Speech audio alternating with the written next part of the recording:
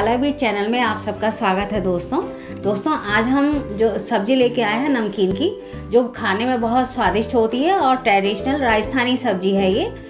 हम गर्मियों में बहुत परेशान हो जाते हैं कि क्या बनाएँ, क्या ना बनाएँ। और ज़्यादातर लोगों को ये भिंडी, तुरई और लौकी पसंद भी नहीं होती है। तो अगर घर में आपके पास मोटे सेव रखे हैं तो आप उससे ये सब्ज़ी बना सकते हैं। ये खाने में बहुत स्वादिष्ट होती है। तो चलिए बनाते हैं सब्ज़ी।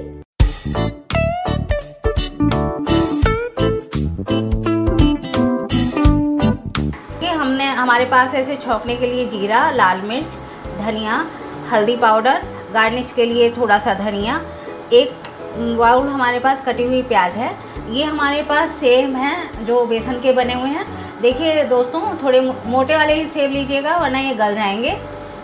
ये हमारे पास थोड़ा सा हमने, हमारे पास गार्लिक है, जो हमने भून के हमेशा रखते हैं। और ये एक कटोरी हमारे पास हरी मिर्च, अदरक और टमाटर का पेस्ट है। तो हम बनाने चलते हैं सब्ज़ी। देखिए, हमने जीरा डाला थोड़ा सा। डाल रहे हैं थोड़ा सा धनिया। वो धनिया डाला, हल्दी डाली और थोड़ा सा बहुत हल्की सी मिर्च। अब इसको, इसमें डाल रहे हैं हम प्याज भूनने के लिए। भूनिएगा।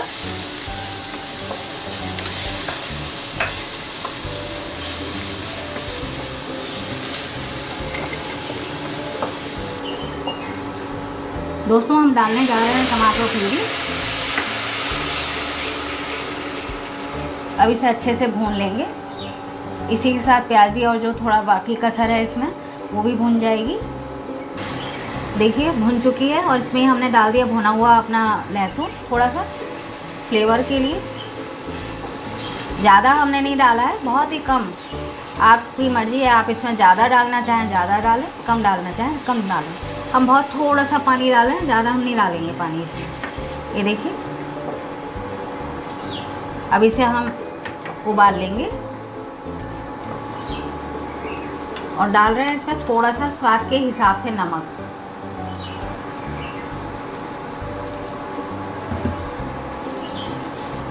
दोस्तों, आप जब इसे खाएँ, तभी इसमें नमकीन डालें, क्योंकि अगर आपने इसे पहले से इसमें नमक, नमकीन डाल दी ना तो वो सारी इसमें घुल जाएगी।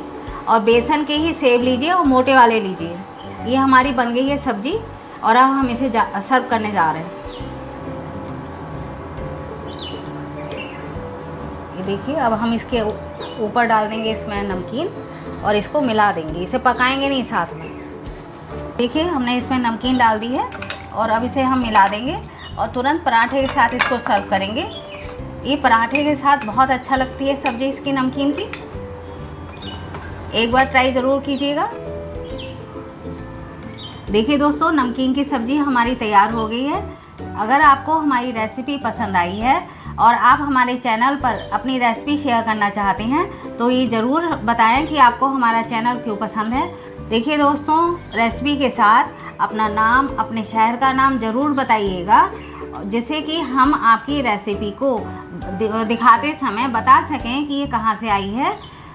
आप स्वस्थ रहें, खुश रहें। हम बहुत जल्द ही मिलेंगे आपसे नई रेसिपी के साथ। नमस्कार।